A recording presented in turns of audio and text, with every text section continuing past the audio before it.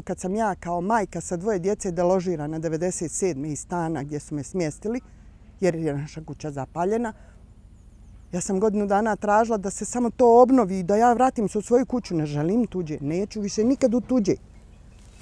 Znate gdje sam riješila svoje stambeno pitanje?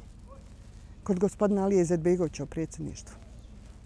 Godinu dana od prve stepence sve sam prošla. Sve, s papirom. I onda sam se sjetla kako su žene nekad ono, u onom ratu pisale Titi. A ja napišem našem predsjedniku pismo preporučeno. Čak nisam znala ni da je ostala maršala Tita naziv ulice predsjedništva. Nisam je ni stavila. Za dva dana su me zvali iz predsjedništva.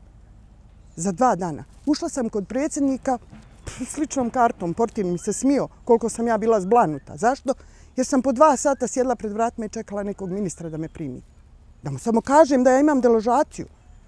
Ništa više, ja ne tražim samo povratak u svoje. Ne, ništa tuđe. A tamo me je čovjek primio i dok sam se vratila kući, pola posla je bilo obavljeno. Zar je to trebalo? Zar to nije jedan od pokazatelja? Zar je to trebalo? Da jedna porodica poginulog borca ili šehida rješava svoje stambeno pitanje u predsjedništvu. I znate što se na kraju desilo? Kome god sam rekla ovo, kao što sam sad vama rekla, doživjela sam da je čerka ostala bez stipendije, jer joj majka hvali bošnjačko-muslimanske institucije. Ne, ja sam samo rekla istinu.